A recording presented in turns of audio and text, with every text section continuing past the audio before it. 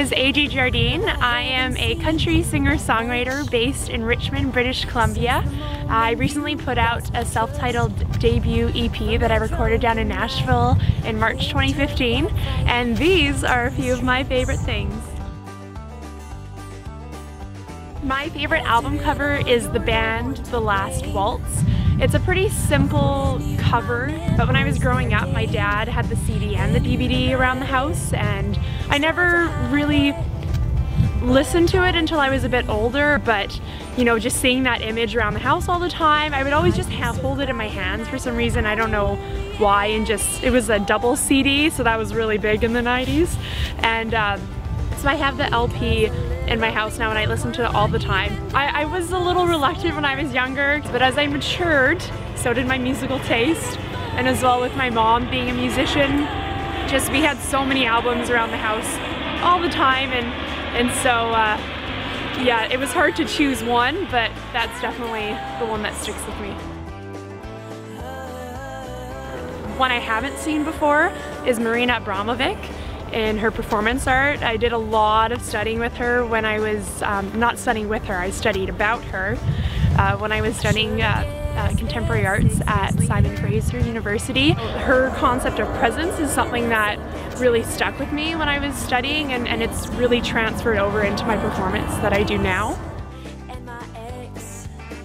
That's a tough one too because I as of late, I've been listening to a lot of traditional country, a lot of new country, a lot of Americana. Um, but for someone that I really admire, she's around my age and her name's Kacey Musgraves. She's an Americana country artist and her, I mean, her songwriting ability, her way, just her way of writing about situations, it's so conversational, but it's, it's so powerful and just her voice as well, it's yeah, I, I just recommend you just gotta check her out. I mean, I'll listen to her whole CD when I'm driving on a road trip because it just, I just love it. so I went with my friend to go and see Feist when she was playing in Vancouver last and it was a pretty you know, calm audience. Everyone's kind of just sitting in their seats. And she had this beautiful lighting show and, and these three background singers that had the most amazing harmonies I'd ever heard. And um, it wasn't until her very last song that she, I think it was I Feel It All, she did this total rock out version of it and it got everyone in up uh, out of their seats and they were standing and everyone's dancing. And then uh, to top it all off, when she came on for her encore, she said, hey, if anyone wants to come and sit on stage while I'm performing, come on up. And luckily I was in the in the orchestra area. So my friend, she wanted to stay back, but I started running.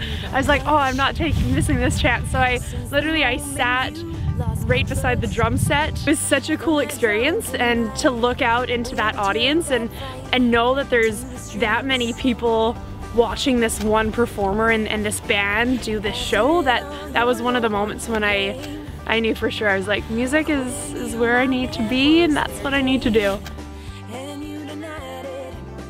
Uh, besides singing and writing and, and being in the studio is really being outdoors. You know, I've I've grown up in Richmond. I, I still live here and and it's it's such a beautiful landscape and I mean even if you just just look behind like this is this is awesome. Unfortunately sometimes the mundane and daily routines stop me from from being outdoors and being in nature as much as I'd like to be. Uh, so any opportunity I have to actually get out here and you know I've had times where I just I get inspiration to, to write or if I just bring my guitar and play. We're so disconnected from nature and I think it's really important that there's different organizations and different ways to get back to nature and to really take care of our environment and you know without getting too preachy you know we only have one world and yeah I just I I love being outside as much as I can. I recently found out that I made it to the top 10 of this competition in Vancouver called the Breakthrough Country Music Project and it's an amazing opportunity for new and upcoming country artists. And so I have um, my second showcase is at the Roxy on Sunday, January 17th. I'm playing right at 8 p.m. sharp and I'm going to be playing a lot of original music, some new, some from my EP. Uh, so definitely come and check it out. I'm Ajaye Jardine and thank you so much for listening to a few of my favorite things.